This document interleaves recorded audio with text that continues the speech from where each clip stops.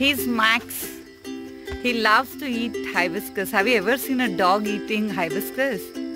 We'll show you now.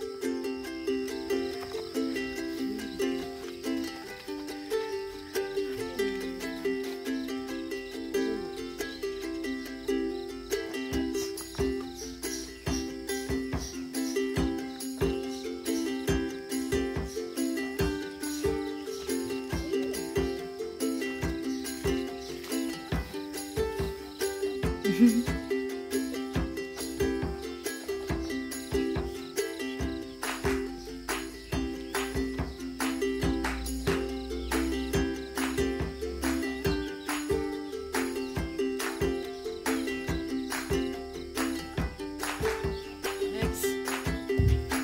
Oh.